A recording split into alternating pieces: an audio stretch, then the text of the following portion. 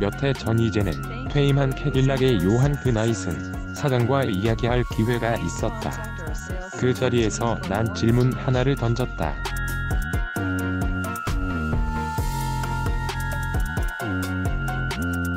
왜 자꾸 독일차들을 독일차의 게임 룰로 이기려고 하나요? 그는 대답했다.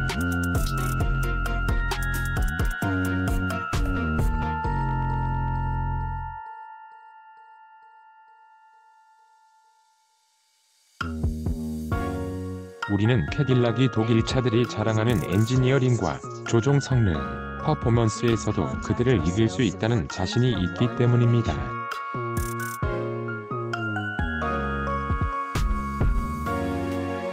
그런데 그래도 사라지지 않는 의문은 이것이었다. 그래, 캐딜락이 독일차를 독일차의 게임 룰로 이겼다고 치자.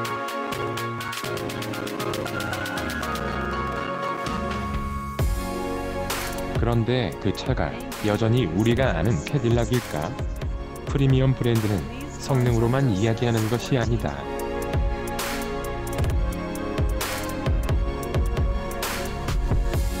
실용적 측면에서는 가성비가 떨어지고 심지어는 잔고장이 많음에도 불구하고 높은 비용을 지불해야 하는 프리미엄 브랜드들의 고객들이 몰리는 것은 그 브랜드만이 줄 수 있는 공감, 더 나아가 감탄의 코드가 있기 때문이다.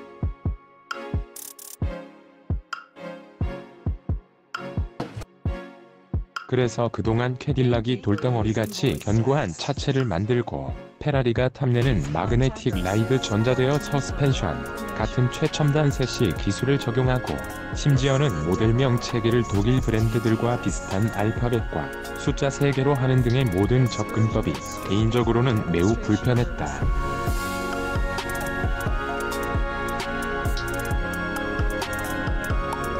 죽어서 장의차로라도 한 번은 꼭 타보고 싶다는 아메리칸 드림의 상징인 캐딜락이 그리웠다.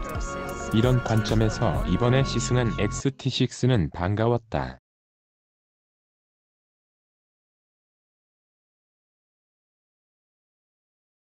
아직도 이름은 고객들에게 아무런 감흥을 주지 못하는 무뚝뚝한 세 글자이지만 게다가 캐딜락답지 않은 앞바퀴 굴림 기반의 모델이라는 점에서도 제대로 캐딜락이라고 불러주기는 어렵겠지만 그래도 캐딜락 다움이 느껴졌기 때문에 긍정적이었다.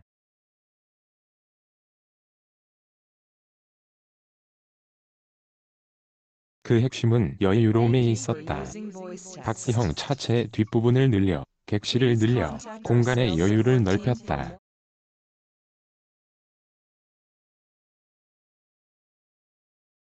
이에 비하여 트레버스는 long wheelbase, wide track으로 휠베이스를 늘려 객실의 길이를 확보하고 넓은 트랙으로 객실의 폭과 선회의 안정성을 확보하는 방식이다.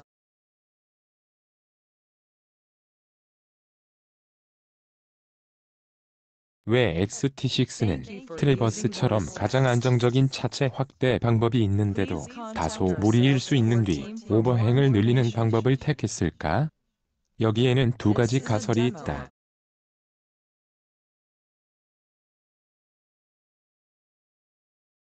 글 나윤석 자동차 칼럼니스트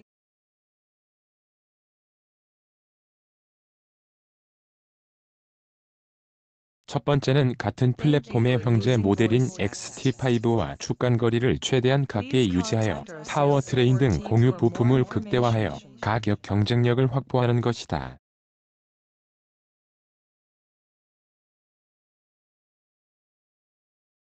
두 번째는 허리가 긴 트레버스와 같은 이른바 people mover, 즉 미니버스형 SUV의 비율을 지향하고 대형 SUV의 느낌을 최대한 유지하면서도 7인승의 실내를 확보하기 위해서다.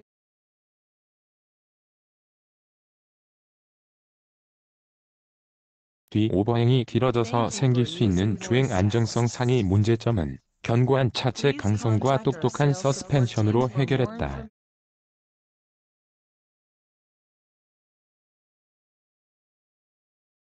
우리나라에 도입된 XT6는 최상위 trim은 스포츠 trim의 거의 모든 옵션을 탑재하였다.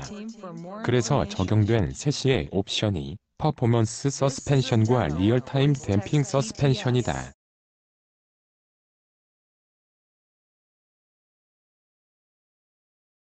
전자는 글자 그대로 차체의 롤링과 피칭 등 움직임을 억제하여 조종 성능을 향상시키는 것이다. 이름만 들었을 때는 다른 캐딜락 모델들처럼 과도한 딱딱함이 차의 성격을 해칠까 걱정했는데 그렇지 않아서 다행이었다. 그리고 real-time damping suspension은 XT6의 백미였다. 처음에는 물렁한 듯 너무 느슨한 것이 아닌가 걱정했던 주행 감각이 노면의 충격이나 속도 영역에 따라 아주 영리하게 대응하는 것을 확인할 수 있었다.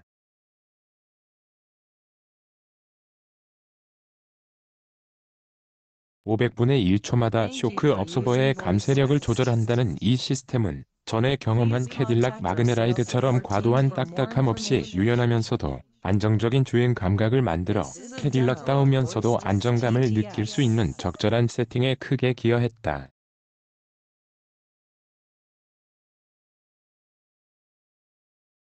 물론 아쉬움이 없지는 않다.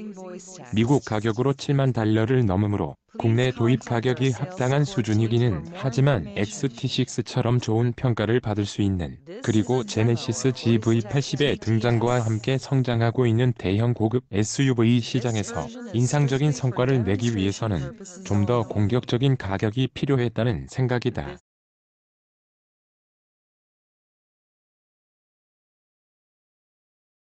또한 GM은 슈퍼크루즈라는 아주 우수한 부분 자율 주행 시스템을 갖고 있다.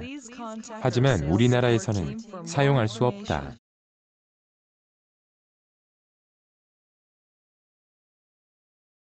이 시스템은 라이다로 측정한 초정밀 지도를 필요로 하기 때문이다.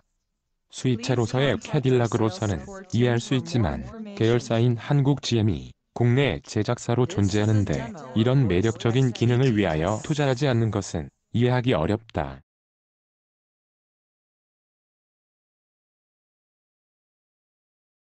여러 아쉬움은 있지만 그래도 희망을 봤다.